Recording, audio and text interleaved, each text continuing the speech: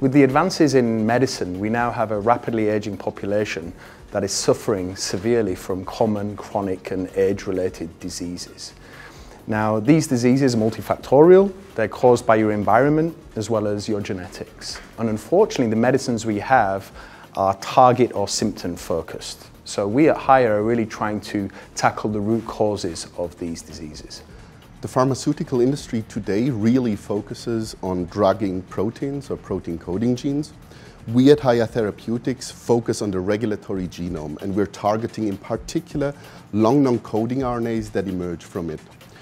These RNAs have very particular functions, very important functions in integrating environmental stimuli at a cellular level.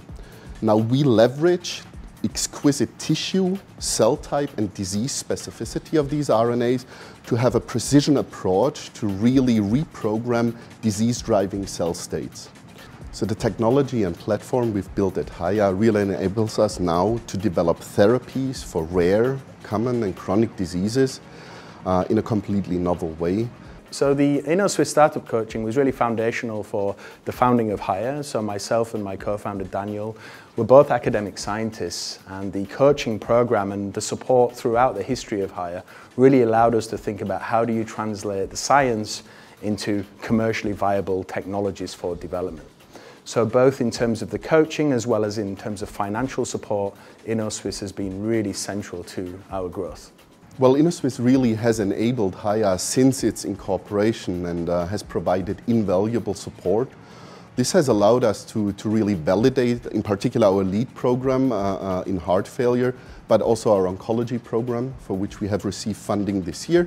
I think it took a big part in allowing us to internationalize and bring this technology and platform to a global stage.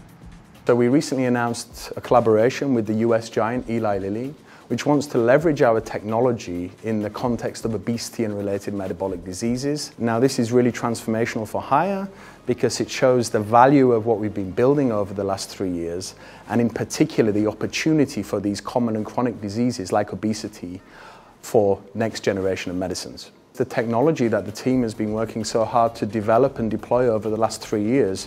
And it really allows us to start thinking broadly about how can we bring medicines targeting the dark genome to patients as fast as possible. Near term, uh, we'll aim to advance uh, our lead candidate, HTX001, a targeted antifibrotic, into first in human trials.